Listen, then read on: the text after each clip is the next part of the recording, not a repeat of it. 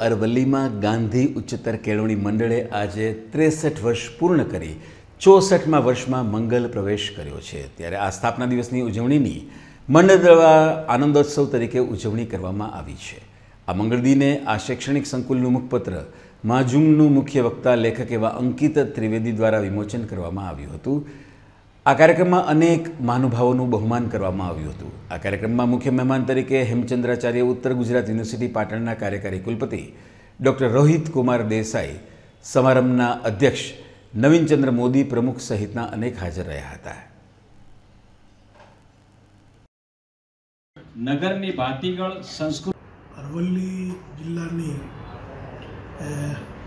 શિક્ષણ સંસ્થાઓમાં સૌથી ભવ્ય અને મોટી શિક્ષણ સંસ્થાઓમાં આજે સ્થાપના દિવસ છે.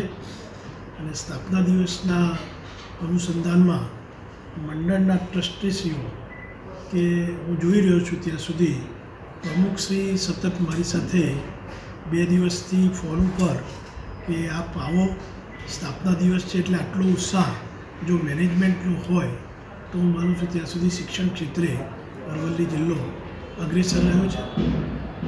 સ્થાપના કાળને લઈને માઝૂમ મેગેઝિનનું